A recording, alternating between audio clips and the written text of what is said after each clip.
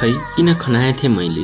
तिमीलाई मुटुभरिको माया अदरभरिको प्यार अनि आत्मादेखिको विश्वास। मनमा राखी पूजा गरेर मैले तिमीलाई पूजा भनी बोलाउन चाहेँ। तर मेरो पूजा बेकार बन्यो।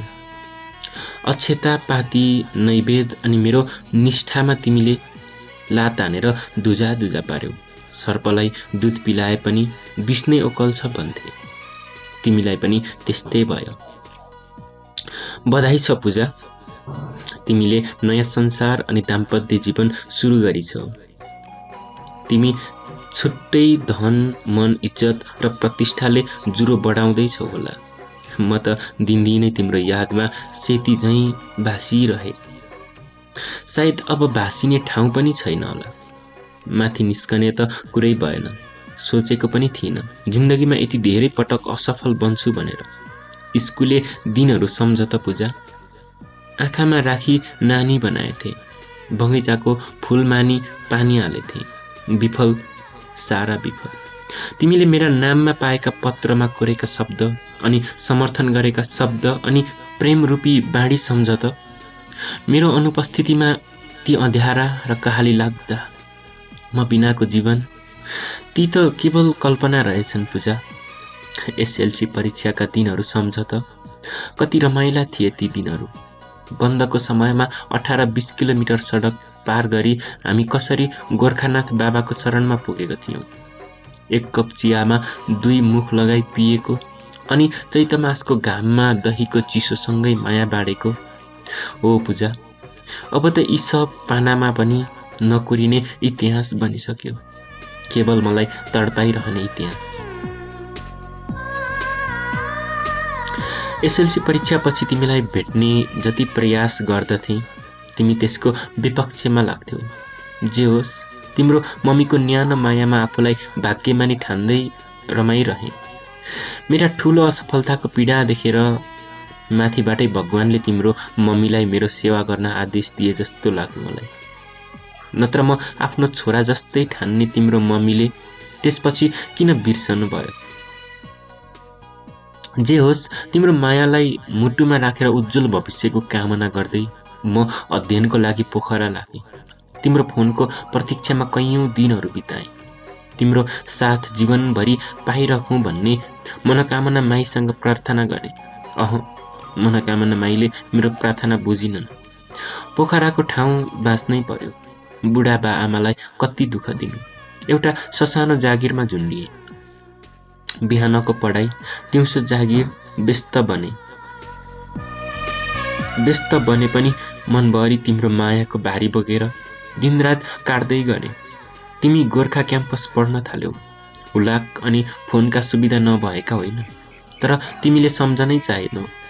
मैले तिम्रो अनि तिम्रो भाइको स्कुलको नाममा दुईवटा पत्र रजिस्ट्री गरी पठाएँ तर तिमीले कानमा तेल हालेर बसिरह्यो। मलाई थाहै रहेनछ। म त तिम्रो एक र मायामा डुबेर तिमीलाई माछा पुछ्रेको शिरमा उभ्याई सरङकोटबाट हेर्न लागेछु। फेवातालको पानीमा डुबुल्की मार्दै ताल बढाई मन्दिरमा पूजा गरी रानीवनको शीतलतामा रम्न लागेछु। तर मेरा यी सब सपना लक्ष्य सिसिफसको कथा जस्तै बन्यो अनि निश्चय झैँ भन्न मन लाग्यो। गड इज डेड आफ्ना भक्तहरूको दुःखमा साथ दिएर न्यानो माया दिन सक्दैनन् भने के भगवान्? पीडा पीडामै पेल्सिएर दिन बित्दै गए। म तिम्रो आमाको ओत नपाएर पुसको ठन्डीमा झैँ कठ्याङ्ग्रिन लागे। साउने झरीमा झैँ रुझ्न लागे। चैतको घाममा डढिए झैँ भदौरे सँगै बगे खोलो किन माथि फर्किन्थ्यो र पूजा? म मनभरि मायाको पोको लिएर तिमीलाई अर्पण गर्ने प्रतीक्षामा रह्यौ। गल्छेडो कुरेर बस्ने हो भने हात्तीको पिठ्यौमा पनि ढाप मार्न पाइन्छ भन्थे तर उखान मात्रै रहेछ। तिमीसँग एकपटक भेट नहुँदै तिमीले हाम्रो संसार अलग्याइसकेछौ। मैले तिम्रो फुल रूपी मायालाई हावा पानी मलजल गरेर हुर्काउन चाहेँ तर तिमीले मलाई केवल तुसारो असिना अनि एसिड मात्र ठान्यौ। बधाई छ पूजा तिमीलाई। तिम्रो माया फुलिएर चारैतिर बाँच्न छर्ने अनि मुनामदन बनेर अर्को इतिहास रच्ने योजना मात्रै होइन। तिमीले मलाई विफल बनाऊ। हो पूजा बल्ल थाहा पाएँ।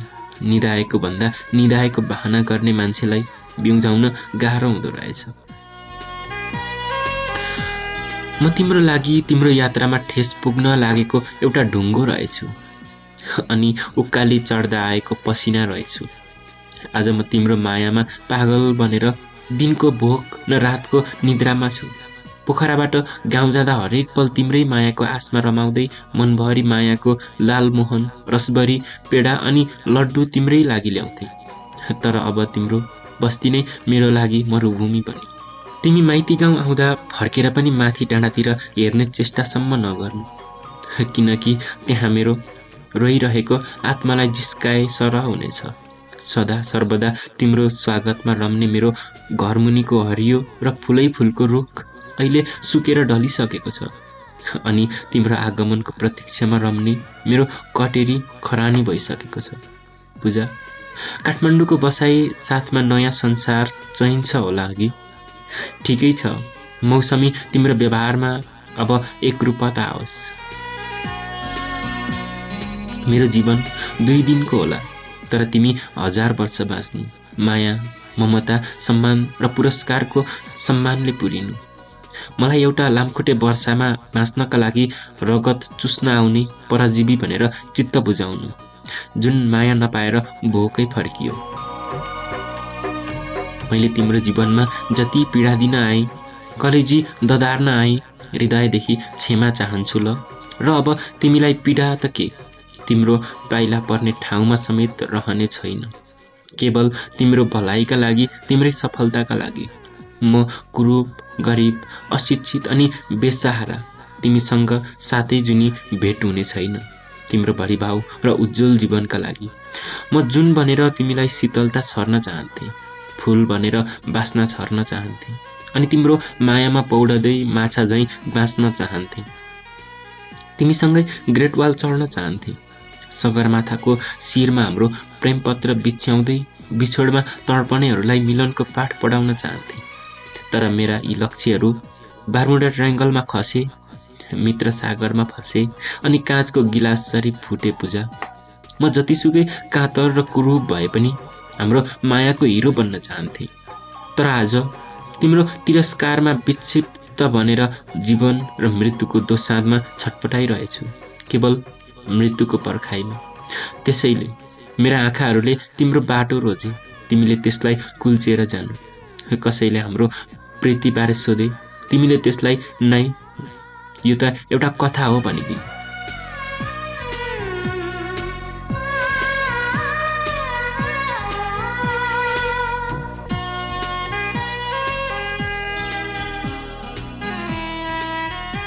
रामचन्द्र कार्कीले आपिपल राईगाउँ गोर्खा हाल महेन्द्रपुल पोखराबाट लेख्नुभएको निष्ठुरीलाई अन्तिम पत्र नामक यो कथा तपाईँलाई कस्तो लाग्यो? कृपया प्रतिक्रिया दिन नभुल्नुहोला। तपाईँकै साथ र सहयोगको प्रतीक्षामा छु। कृपया हाम्रो च्यानल सब्सक्राइब गर्नुभएको छैन भने सब्सक्राइब गरिदिनुहोला। त्यसै गरी सेयर र लाइक गर्न नभुल्नुहोला। हवस् धन्यवाद।